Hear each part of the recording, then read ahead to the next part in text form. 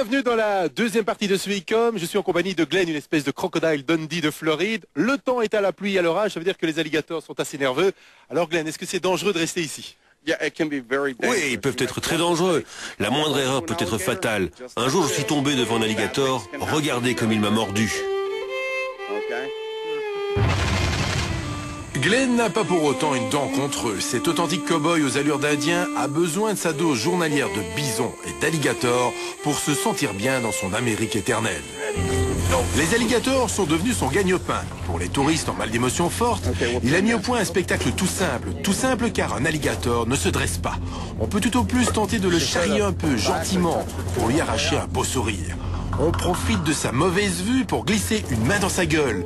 Glenn sait exactement jusqu'où il peut aller. Il connaît ces alligators. Il sait quand il sort de leur champ de vision, c'est son truc pour épater la galerie.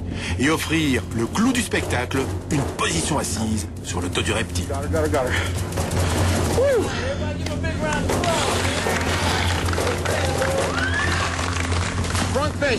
Glenn parle sans arrêt de la nature qu'on martyrise, du réchauffement global et des politiques qui n'y comprennent rien. Alors chaque jour, il part sur son tout-terrain pour rejoindre ses amis au milieu de nulle part.